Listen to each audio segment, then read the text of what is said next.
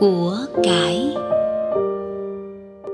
Của cải cần thiết cho cuộc sống, vì không có của, lấy gì nuôi con. Không, của ăn, của để, tiền đâu đi bệnh viện khi đau ốm. Không, của cải dành dụm, con cái cưới vợ, lấy chồng, tiền đâu lo cho chúng.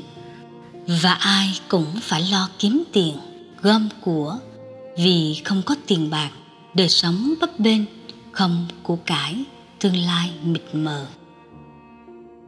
Đức Giêsu làm người Ngài biết tiền bạc cần thiết cho cuộc sống thế nào. Suốt 30 năm ở Nazareth với cha mẹ Ngài đã phụ giúp Thánh Du Xe cha mình trong công việc làm ăn để có tiền nuôi sống gia đình. Ngài hiểu thế nào là mồ hôi nhễ nhãi, chảy dài trên trán người lao động dưới cái nắng gay gắt, chói chang. Ngài thấm thía nỗi cực nhọc của người thợ cần cù, quên cả đời mình để có đồng lương ổn định, vừa đủ nuôi vợ và đàn con thơ dại. Làm người và ở giữa mọi người, Đức Giêsu hiểu hoàn cảnh đáng thương của những người nghèo phải cật lực làm việc mới có cơm ăn, áo mặc.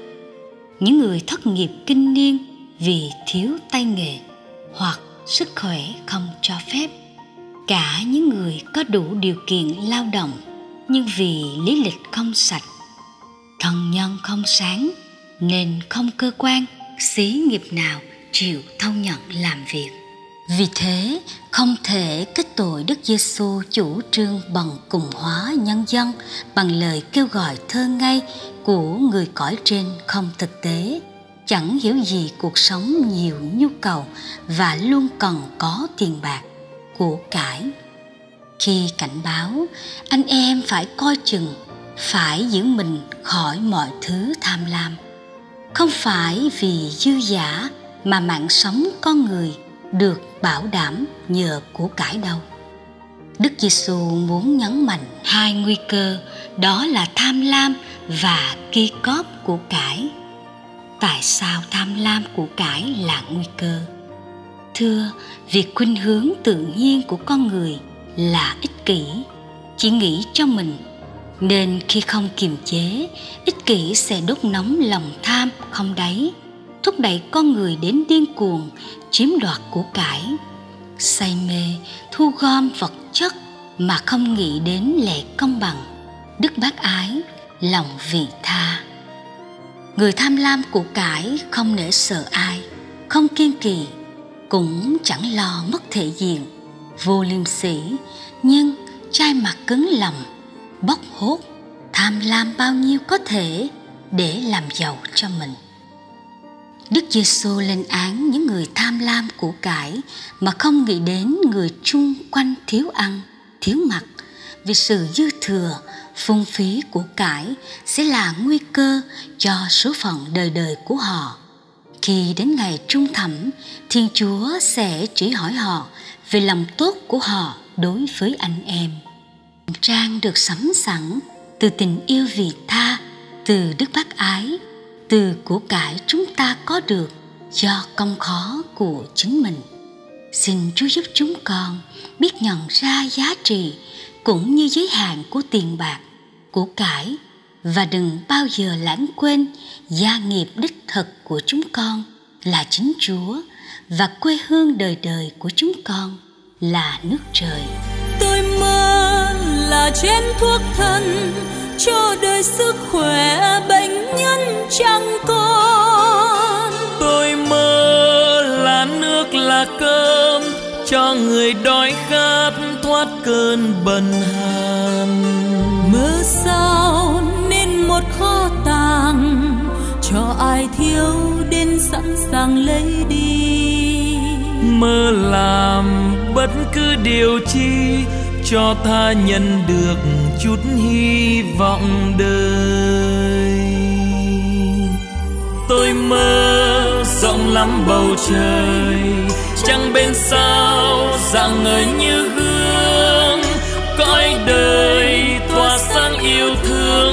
người người chung bước lối đường thật xinh cõi đời tỏa sáng lung linh. Người người chung bước thật xinh lối đường. Cõi đời tỏa sáng yêu thương. Cõi đời tỏa sáng yêu thương.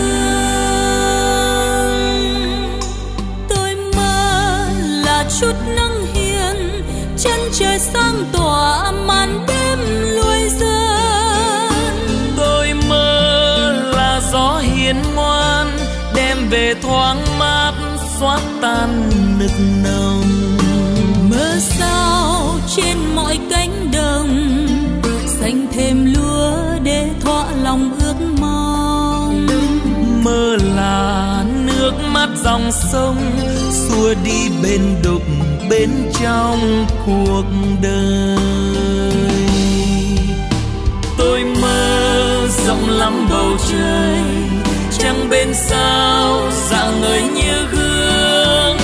Cõi đời tỏa sáng yêu thương người người chung bước, lối đường thật xinh. Cõi đời tỏa sáng lung linh, người người chung bước, thật xinh lối đường. Cõi đời tỏa sáng yêu thương, cõi đời tỏa sáng yêu thương.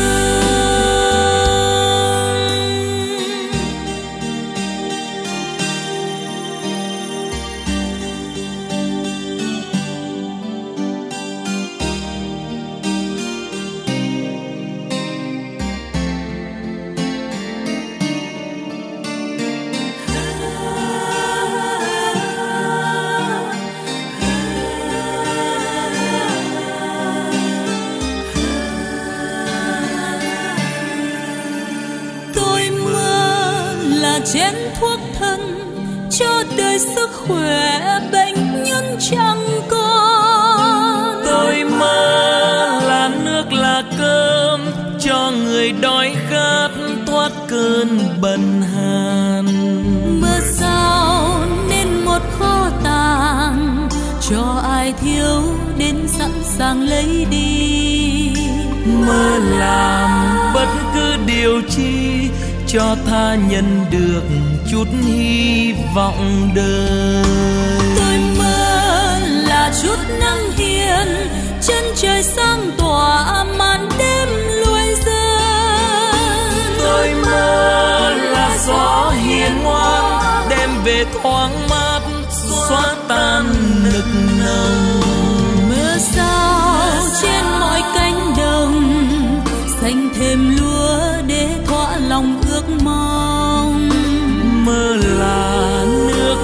dòng sông xua đi bên đục, bên trong cuộc đời.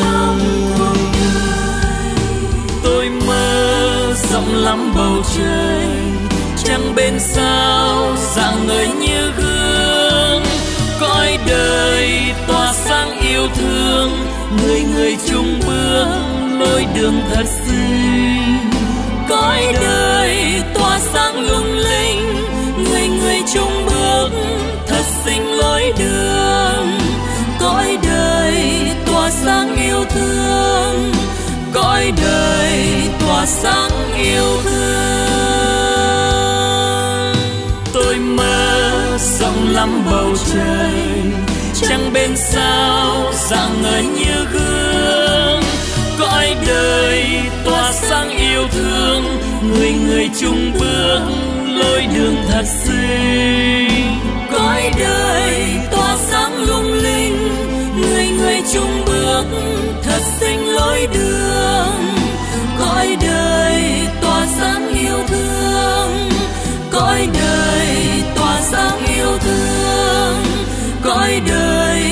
tỏa sáng yêu thương cõi đời tỏa sáng.